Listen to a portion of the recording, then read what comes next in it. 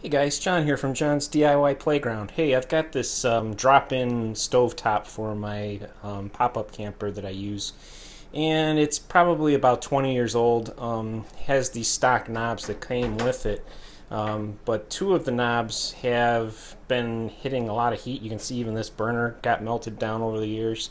Too much heat, and the knobs don't work right anymore. So I only have one good working knob and I've been trying to find an equivalent knob.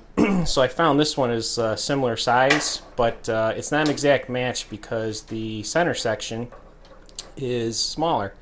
So it doesn't fit. And what I'm going to do today in this video is demonstrate how I'm going to make an adapter to uh, lob off this center section. And I'm going to make kind of a little interface piece out of plastic moldable plastic that's called Instamorph uh, Instamorph is like a pellet and what you do is you put it in some hot water and it starts to melt and becomes uh, I guess soft so you can mold it into shape. And we're going to do that mold it into shape so that it fits our knob here. So first thing we got to do is work on these knobs.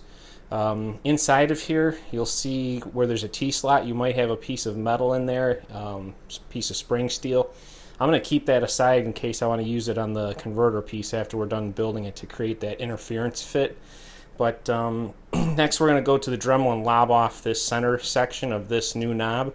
And then we'll get started with polymorph.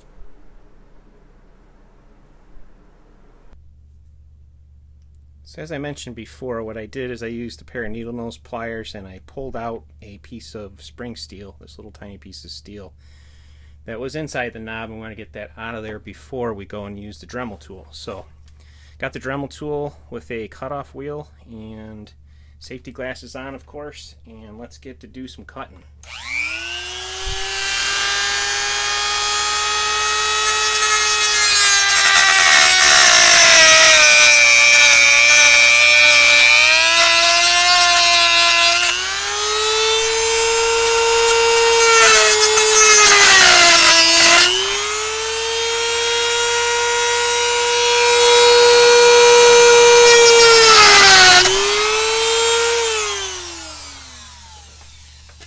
Alright, so that's good. Um, I just wanted to get the knob down to, let's say, about level with the top of the the bottom of the knob, get that center knob out of there, because that's where we're going to put the Instamorph when we make our new adapter piece.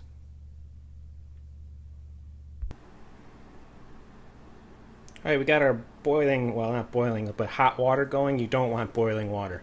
Um, our target is between no below 140 degree Fahrenheit and really, they suggest don't do it over 150 because you might start burning your fingers when you get this stuff out of there and start to mold it. So we're at 151, so that's pretty good. Um, as far as how much Instamorph to use in this case, what I was thinking is I've got this knob here and I've got a tablespoon. Um, they're about the same size and diameter, so I think one tablespoon per knob of Instamorph is going to be more than enough product.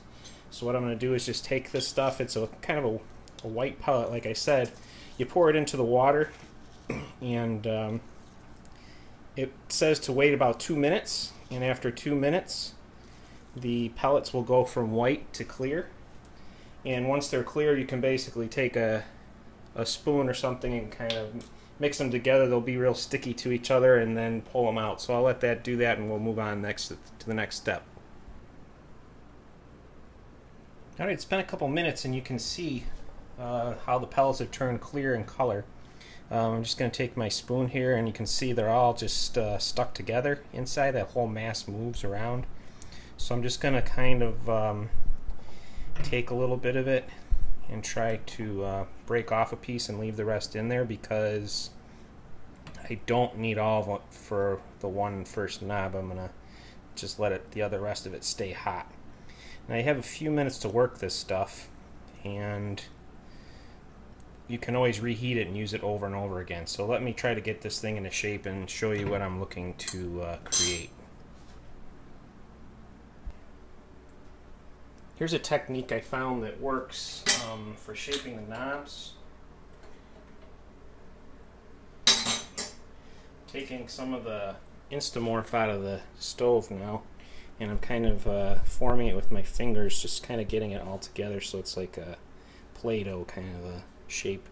But push it down on the shaft here and kind of form a, a cylinder and then hammer down the top a little.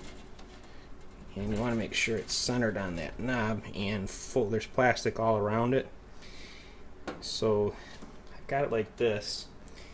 I'm going to take one of the knobs and put it underneath my fingers underneath and kind of push down on this thing so it takes on the shape. And I push down until I feel it hit the metal of the knob that uh, the shaft that's down underneath it and just gonna let it sit like that.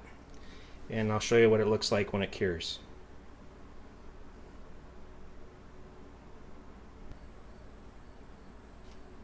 So here's our finished product. Um, I waited about 15 minutes 20 minutes before I went and pulled this knob off.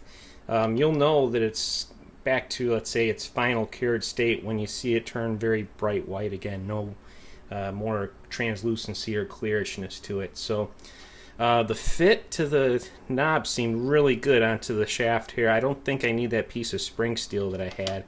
Um, but I did start pulling on the one, and I expected this to happen. Is it such a good fit, and it's so nice and snug here that um, the knob, of course, is just sitting on top in its shape there. So, last step we're going to do before we finish up and call it a a new project done is use some of this JB Weld. And JB Weld is kind of like an epoxy, two parts. You just use equal parts, put it on a piece of cardboard and stir it with a stick.